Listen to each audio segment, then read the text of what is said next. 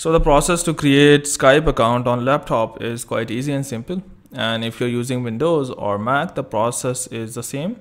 Open up any browser. In my case, I'll open up the Chrome browser. And once you are here, uh, simply type in for Skype and hit enter. So you can see skype.com. So click on here. Now once you are here, here you can see at the right top, you can see an option of sign in and if you click on this arrow you will have other options as well.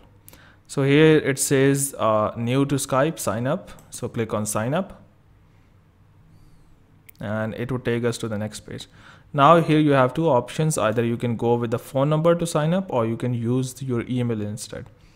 So both are almost similar. Like here if you are going for uh, the uh, email part here it says create an account. So you need to enter your email. Like I am going to enter my email. Like this one enter the email. Here we go. And hit next. So it says create a password.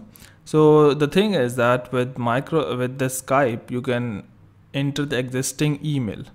So your Skype account will be linked to your existing email and here you create a password for your Skype account and within two to within this step they will send you a confirmation link on your email address and confirm email and your Skype account is ready to go. So hope by doing so you will be able to sign up or create a Skype account on laptop but before you go please like, subscribe and share. Thank you.